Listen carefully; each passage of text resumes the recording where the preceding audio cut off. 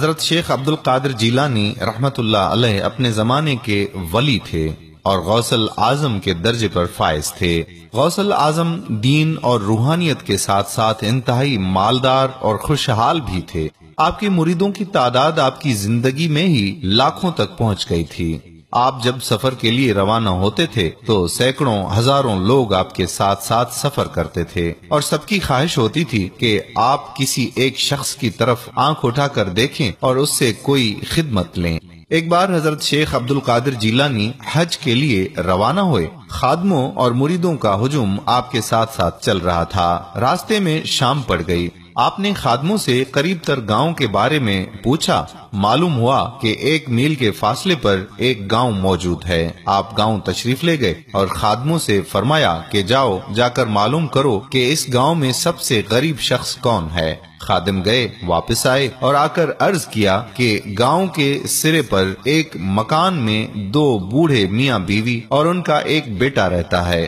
یہ اس گاؤں کے غریب ترین لوگ ہیں۔ غوث العظم رحمت اللہ علیہ اس کے گھر گئے اور گھر والوں کو کہا کہ میں آج رات آپ کے گھر میں قیام کرنا چاہتا ہوں۔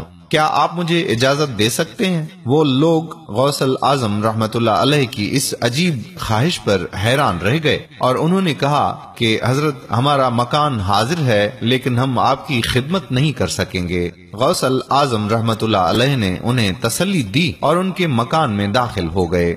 تھوڑی دیر بعد علاقے کے لوگوں کو حضرت عبد القادر جیلانی رحمت اللہ علیہ کی آمد کی اطلاع ملی تو وہ ہزاروں لاکھوں روپے کے نذرانے لے کر حاضر ہو گئے۔ ان لوگوں نے آپ سے عرض کیا کہ جناب، آپ کو اس ٹوٹے پھوٹے گھر میں ٹھہرنے کی کیا ضرورت ہے؟ آپ ہمارا محل، ہماری کوٹھی، ہمارے فارم ہاؤس میں تشریف لائیے۔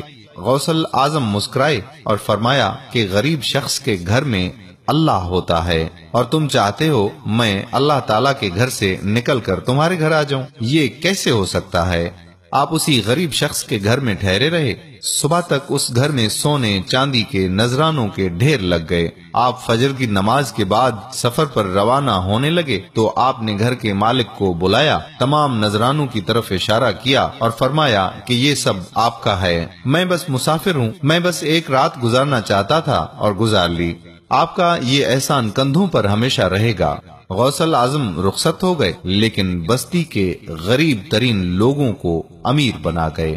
اولیاء اکرام کی نظر جس پر بھی پڑے، وہ اسے امیر بنا دیتے ہیں۔ میرے پیارے بھائیوں اور بہنوں، اگر آپ کو ہماری آج کی ویڈیو پسند آئی ہے، تو اپنے دوستوں کے ساتھ بھی ضرور شیئر کیجیے گا۔ اگر آپ نے ابھی تک ہمارا پیج پیارا اسلام لائک نہیں کیا، تو ابھی سے لائک کر کے فالو کر دیجیے اور ساتھ ساتھ ہمارے یوٹیوب چینل پیارا اسلام کو سبسکرائب کر کے گھنٹی کے بٹن کو پریس کر دیجیے تاکہ ہم ایسی مزید معلوماتی ویڈیوز آپ تک پہنچاتے رہیں۔ جزاک اللہ خیرہ۔ السلام علیکم ورحمۃ اللہ وبرکاتہ۔